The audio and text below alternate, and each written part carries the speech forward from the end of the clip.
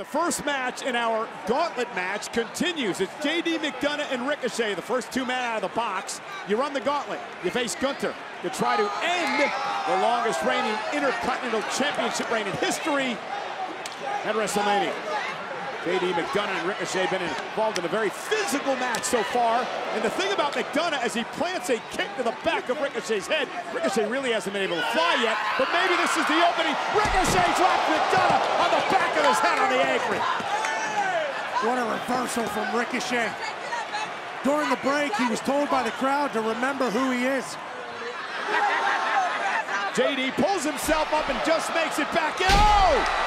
Ricochet connecting to McDonagh, looking to put JD away. Look at Ricochet go. The power.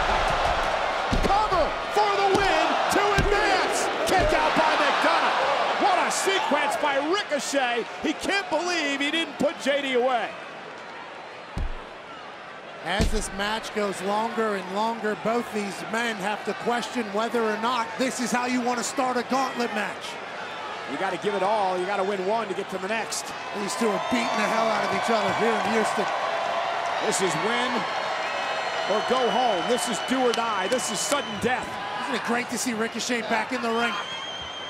Oh, right in the eyes by McDonagh. Official Rod Zapata did not see it as McDonagh drives Ricochet rib first into the ring post. And again, the ribs, McDonagh focusing on them for the entire match. Cover, hook of the leg, kick out by Ricochet.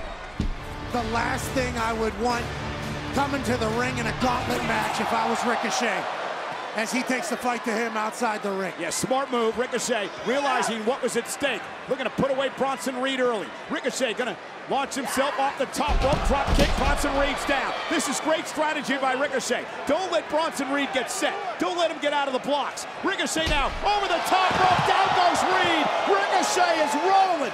Zayn looking to qualify for the WrestleMania match and perhaps win his fourth Intercontinental title. Bronson Reed with Sami Zayn on his shoulders. Sami trying to fight out, and he does. Sunset flip power bomb for the win. Got him. Big Bronson Reed has been eliminated. Next up for Sami, a long-time rival, Shinsuke Nakamura. As oh. Big Bronson Reed takes a cheap shot after the belt. Yeah, You've been eliminated. You've been eliminated. And look at Nakamura just taking his time, coming to the ring, letting Reed do a tsunami. Ref. Born to be the greatest of all time. This is where I draw the line. Can't stop my shine. They know it's my time. Let the world know I've arrived. I'm on the rise. Unstoppable.